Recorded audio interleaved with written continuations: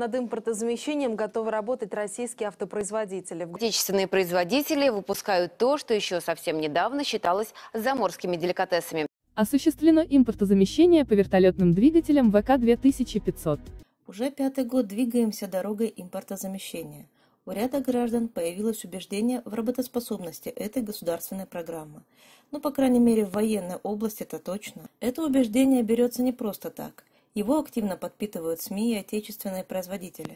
На прилавках можно увидеть шоколадные батончики с русскими названиями и в иностранном дизайне. Или наоборот, нарочито исконно русский дизайн упаковки. Самое интересное на упаковке – это информация о том, кто является владельцем и получателем прибыли. Это индивидуальный рацион питания военнослужащего, в простонародье сухпайок. Страшная надпись «Не для продажи» не должна вас смущать. Его можно легко купить на рынке и уж тем более в интернете. В рацион входит упаковка жевательной резинки. До введения санкций паек снабжался самой обыкновенной жевательной резинкой, всем известных иностранных брендов, лежащих на прилавках каждого магазина. Борьба с импортом не прошла бесследно и для них.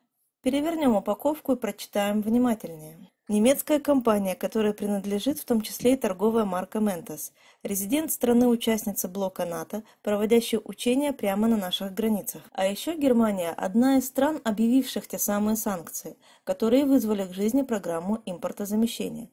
У капитала нет своего отечества. Капиталисты всегда договорятся между собой ради получения прибыли, в том числе в освоении бюджета, выделенного на армию, призванную их защищать. К сожалению, желающих присвоить себе прибавочную стоимость намного больше, чем возможности для ее производства. Рано или поздно настанет очередной кризис, и пирог придется делить по-новому.